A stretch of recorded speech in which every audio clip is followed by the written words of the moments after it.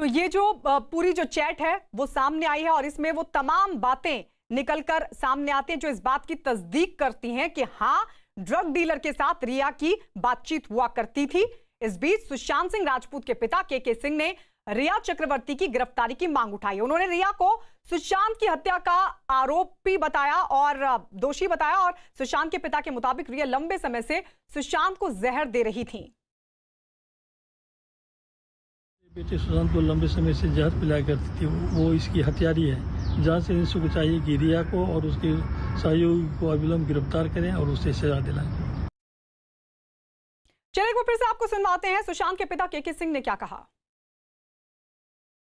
मेरे बेटे सुशांत को लंबे समय से जहर पिलाया करती थी। वो इसकी हथियारी है। जहाँ से इंसु को चाहिए कि रिया को और उसके सहयोगी को अविलंब गिरफ़्तार करें और उसे सजा दिलाएँ। तो सुना आपने, सुशांत के पिता साफ़ तौर पर यह कह रहे हैं कि रिया ने जहर दिया सुशांत सिंह राजपूत को और वही उनके बेटे की हत्यारी। हम सीधे मुंबई की तरफ़ रुख कर लेते हैं। हमारे सहयोगी इस वक्त हमारे साथ अभिषेक पांडे मुंबई से लाइव जुड़ रहे हैं, जो कि डीआरडीओ दफ्तर के बाहर मौजूद हैं। अभिषेक, सबसे पहले तो ये बताएँ, डीआरडीओ दफ्तर वो जगह जहाँ पर सीबीआई लगातार उन तमाम संदिग्धों से पूछताछ कर रही है जिनका कनेक्शन सुशांत मामले में हो सकता है। अभी वहाँ से अपडेट किया?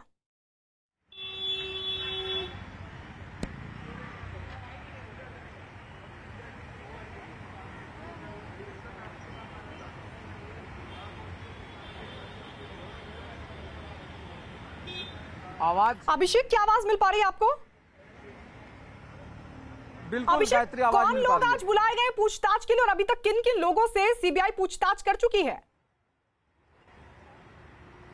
देखिए सीबीआई की पूछताछ की लिस्ट लंबी है लेकिन जिस तरीके से आज सुबह से ही एक्टिविटी दिख रही है सुबह साढ़े आठ बजे के आसपास सिद्धार्थ पिठानी को बुलाया गया उसके बाद फिर नीरज को यहाँ पर लाया गया उसके साथ साथ जो पूर्व अकाउंटेंट थे उनको यहाँ बुलाया गया और अब सौविक पहुँचा है। उसके साथ साथ सीबीआई के सारे बड़े ऑफिसर्स यहाँ पहुँचे हैं ताकि उनसे पूछताछ की जा सके। और हो सकता है सीबीआई यहाँ पर जो तमाम सारे अलग अलग स्टेटमेंट्स लिए हैं, उसके बाद आमने सामने बिठा करके भी पूछताछ कर सकती है, जिसको क्रॉस वेरिफिकेशन बोलते हैं। यानी दो लोगों के बीच जो स्टेटमेंट होना है, उस स्टेटमेंट को क्रॉस वेरीफाइड भी किया कर सकती है सीबीआई, क्योंकि सीबीआई के सारे ऑफिसर्स अमूमन जितनी भी टीमें हैं, उन सारी टीमों में से मैक्सिमम टीमों के ऑफिसर्स इस समय डीआरडीओ गेस्ट हाउस में हैं। एक्टिविटी जिस तरीके से चल रही है डीआरडीओ गेस्ट हाउस की उससे आप अंदाज़ा लगा सकते हैं कि सुबह साढ़े आठ बजे से जो सक्रिय हुई है सीबीआई की टीम एक के बाद एक एक के बाद एक सारे गवाह और सारे इस, इस केस से जुड़े हर वो शख्स और हर पहलू को लाने की कोशिश की जा रही है ताकि इस केस से पर्दा उठाया जा सके। और आज सुबह से ही यहाँ पर सिद्धार्थ पिठानी के बाद सबसे पहले नीरज को लाया गया उसके बाद अकाउंटेंट को लाया गया और अब सौविक पहुँचा है। इसके साथ साथ सीबीआई के सारे ऑफिसर्स यहाँ पर पहुँच चुके हैं और उनसे पूछताछ शुरू है। अमूमन सीबीआई की पूछताछ लंबी होती है, लेकिन अगर लिस्ट की बात करें तो अब तक करीब आधा दर्जन से ज़्यादा लोग जो इस केस से जुड़े लोग थे उन सारे लोगों को सीबीआई ने एक बार बुला के पूछताछ कर ली है और दोबारा हम्म। लगातार इस पर पूछताछ बिल्कुल आप कह रहे हैं कि हो। सकता है कि इन लोगों की अब आमने सामने बिठाकर पूछताछ हो। अभिषेक आप वहाँ पर रहिए लगातार आपसे अपडेट लेते रहेंगे लेकिन इस बीच एक बड़ी खबर अपने दर्शकों को बता दें। बड़ी खबर आ रही है नार्कोटिक्स कंट्रोल ब्यूरो की टीम गोवा में गौरव आर्य की तलाश में जुट गई है। एनसीबी की टीम आज गोवा के एक रेस्टोरेंट में जाएगी। बताया जा रहा है कि इस रेस्टोरेंट के मालिक का नाम गौरव आर्य है ये रेस्टोरेंट नॉर्थ गोवा के अंजुना बीच पर है। एनसीबी इसके स्टाफ से भी पूछताछ करेगी। गौरव आर्य इस मामले में वो किरदार है। जी हाँ वो किरदार है जिस पर आरोप लग रहे हैं कि वो ड्रग्स को रिया तक पहुंचाता था। गौरव आर्य और रिया के बीच की चैट जाँच एजेंसियों को मिली है और उसी चैट के आधार पर गौरव आर्या की एनसीबी लगातार तलाश कर रही है। सुशांत केस में एक और अहम किरदार, संदीप सिंह। जी हाँ, संदीप सिंह से आज सीबीआई पूछताछ करेगी। संदीप सिंह कल ही दिल्ली से मुंबई पहुँचे हैं। संदीप सिंह खुद को सुशांत सिंह का दोस्त बताते लेकिन हैरानी की बात यह है कि संदीप सिंह की कॉल डिटेल यह बताती है कि पिछले एक साल में दोनों के बीच कोई बातचीत नहीं हुई थी। इसके अलावा संदीप सिंह की कॉल डिटेल यह भी बताती है कि वो इस मामले की जाँच कर रही मुंबई पुलिस के दो अधिकारियों के संपर्क में भी था। और उसने पाँच बार दोनों से बातचीत की थी। इतना ही नहीं, आरोप यह है कि सिद्धार्थ सिंह सुशांत का सुशांत का शव ले जाने वाले एंबुलेंस के ड्राइवर के संपर्क में भी था।